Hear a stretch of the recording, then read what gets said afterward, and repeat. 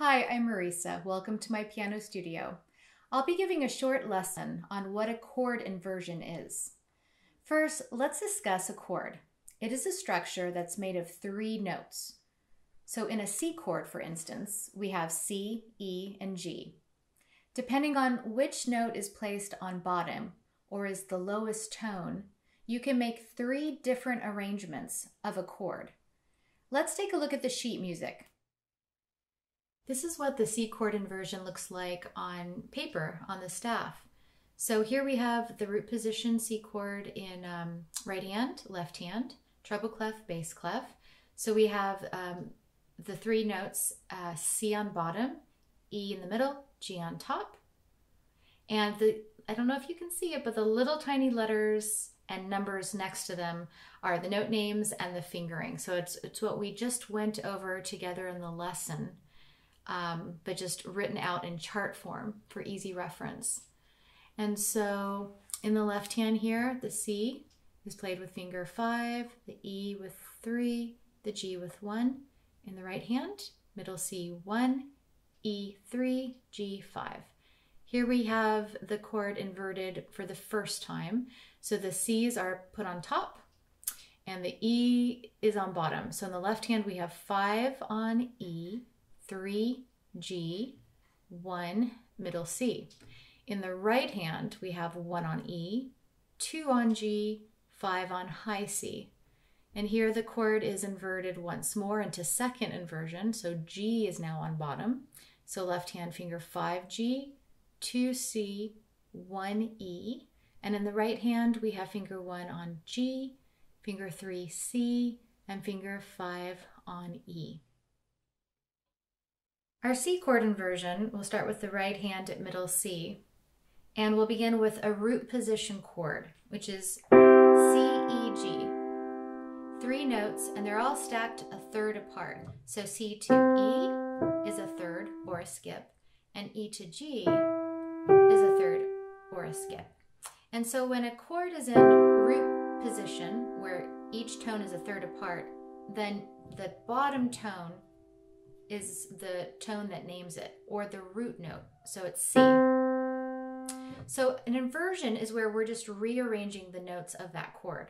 So from root position, I will take my lowest note, C, move it up an octave. So I'm retaining the E and the G below and just putting the root note or C above. So same three tones, C, E, G, just rearranged. So in a, with a first inversion chord, you have an interval of a third between the bottom and middle tone, and then a fourth between the middle and top. So if you see any chord that's in um, this position where you have a third on bottom and then a fourth above it, you you know that the root note's always on top and that it's a first inversion chord. So I'm playing right here a G first inversion chord. So first inversions always have that interval formula, a third on bottom, um, a fourth on top. So my root note C is on top. Okay, I'm going to invert it again. So again, it's the lowest tone that I'm going to move up an octave. So that E, I move up an octave to here. So I'm keeping the G and the C in place, putting the E on top. Same three tones, C, rearranged. So now I have an interval of a fourth on bottom and then a third on top.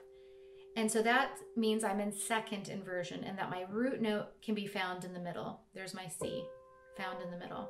So if I invert it again, take my lowest tone, in this case the G, move it up an octave, then I'm right back to a root position chord because they're all a third apart and my root note is on bottom, C. So again, we had C, E, G, move the C up an octave.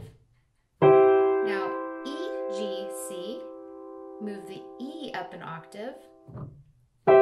G, C, E, move the G up an octave, and I'm back to my root C, E, G chord. So next we need to make sure we have the right fingering in the right hand. So for root position chord, right hand should always play one, three, five. The first inversion should always be played with one, two, five. So make sure two, not three, is in the middle, finger two. My second inversion chord is always one, three, five. So finger three in the middle this time, and then back to my root, one, three, five.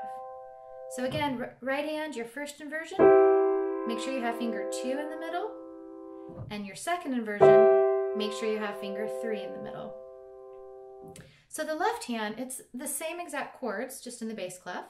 So I have my root position with my root note C on bottom, first inversion with root note C on top, second inversion, root note C in the middle, and then that brings me up to my root position chord. So left hand fingering is what's different from the right hand uh, with the first inversion and second inversion chords. So in the root position, both hands have one, three, five on that chord. So make sure left hand, five, three, one. But when you get to the first inversion, left hand should have finger three in the middle. Second inversion, left hand should have to root position. So once you've practiced that hand separately, check, make sure your fingering's correct, then put it together. So again, root position, fingers one, three, five in both hands. When you get to first inversions, um, the ones and fives are on the edges, so that's easy. So in the middle on the G's, make sure left hand has finger three on G, right hand has finger two on G. When you get up to second inversion, again, it's easy because one and five are on the edges. So make sure left hand has finger two in the middle, right hand has finger three. And then you take it back up. And the reason for this strict fingering is that it just, it's most natural for your hand shape. And it just makes um, for better piano technique as you play these chords. So we have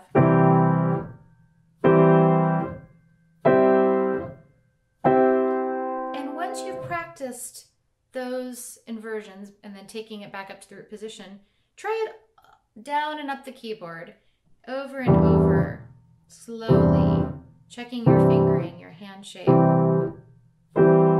Dribble it slowly. And over time, it'll feel really natural. And it's fun to play with. It sounds pretty.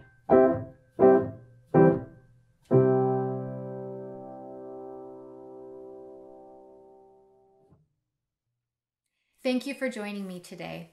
Check out my lesson on Edvard Grieg's Morning Mood as the piano arrangement I wrote of that piece uses chord inversions. Have a great day, happy practicing, and I'll see you at the next lesson.